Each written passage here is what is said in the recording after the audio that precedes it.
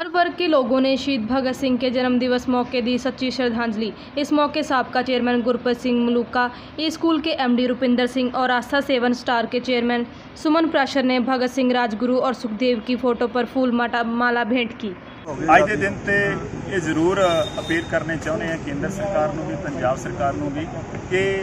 ਜੋ ਸਾਡੇ ਮਹਾਨ ਸਪੂਤ ਨੇ ਦੇਸ਼ ਨੂੰ ਆਜ਼ਾਦ ਕਰਾਇਆ ਮੇਰੀ ਮੁਰਾਦ ਸ਼ਹੀਦ ਆਜਮ ਸਰਦਾਰ ਭਗਤ ਸਿੰਘ ਜੀ ਤੋਂ ਜਿਨ੍ਹਾਂ ਦਾ ਅੱਜ ਜਨਮ ਦਿਹਾੜਾ ਹੈ ਇਹਨਾਂ ਦੇ ਜਨਮ ਦਿਹਾੜੇ ਨੂੰ ਪੂਰੇ ਧੂਮਧਾਮ ਤੇ ਉਤਸ਼ਾਹ ਨਾਲ ਮਨਾਉਣ ਦੇ ਲਈ ਅੱਜ ਦੇ ਦਿਨ ਦੀ ਛੁੱਟੀ ਹੋਣੀ ਚਾਹੀਦੀ ਹੈ। ਮੈਂ ਸ਼ਹੀਦ ਆਜਮ ਸਰਦਾਰ ਭਗਤ ਸਿੰਘ ਜੀ ਦੇ ਜਨਮ ਦਿਹਾੜੇ ਦੀਆਂ ਸਾਰਿਆਂ ਨੂੰ ਬਹੁਤ-ਬਹੁਤ ਵਧਾਈ ਦਿੰਦਾ ਹਾਂ। ਅਤੇ ਨਾਲ ਹੀ ਸੈਂਟਰ ਗਵਰਨਮੈਂਟ, ਪੰਜਾਬ ਗਵਰਨਮੈਂਟ ਨੂੰ ਅਪੀਲ ਕਰਦਾ ਹਾਂ ਕਿ ਉਹਨਾਂ ਦੇ ਸ਼ਹੀਦੀ ਦਿਵਸ ਤੇ ਅਤੇ ਨਾ ਹੀ ਜਨਮ ਦਿਵਸ ਤੇ ਸੈਂਟਰ ਗਵਰਨਮੈਂਟ ਵੱਲੋਂ ਕੋਈ ਵੀ ਛੁੱਟੀ ਨਹੀਂ ਕੀਤੀ ਜਾਂਦੀ। ਸ਼ਹੀਦ ਆਜਮ ਨੂੰ ਅੱਜ ਕੱਲ ਦੇ ਯੰਗਸਟਰਸ ਬਹੁਤ ਮੰਨਦੇ ਹਨ ਉਹਨਾਂ ਨੂੰ ਫੋਲੋ ਕਰਦੇ ਹਨ ਉਹਨਾਂ ਦੀਆਂ ਬਹੁਤ ਉਹਨਾਂ ਤੇ ਫਿਲਮਾਂ ਬਣ ਚੁੱਕੀਆਂ ਹਨ। ਤੇ ਉਹ ਇੱਕ ਛੁੱਟੀ ਕਰਨ ਦੇ ਨਾਲ ਇੱਕ ਆਜ਼ਾਦੀ ਦੇ ਤੌਰ ਤੇ ਉਸ ਦਿਨ ਨੂੰ ਆਜ਼ਾਦੀ ਦੀ ਭਾਵਨਾ ਨੂੰ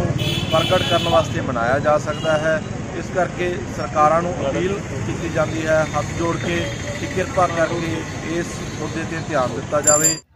ਪੰਜਾਬ ਸਾਰਾ ਸਮਾਚਾਰ ਤੋਂ ਰਾਹੁਲ ਸ਼ਰਮਾ ਦੀ ਇਹ ਖਾਸ ਰਿਪੋਰਟ।